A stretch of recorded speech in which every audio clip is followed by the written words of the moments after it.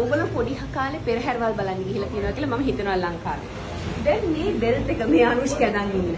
මතක් වෙන්නේ මොකද්ද ඕගොල්ලන්ට මේ මේ මේ බෙල්ට් එක එහෙම දැක්කම නේ ඉස්සරහට හැරෙන්නේ මේ බෙල්ට් එක.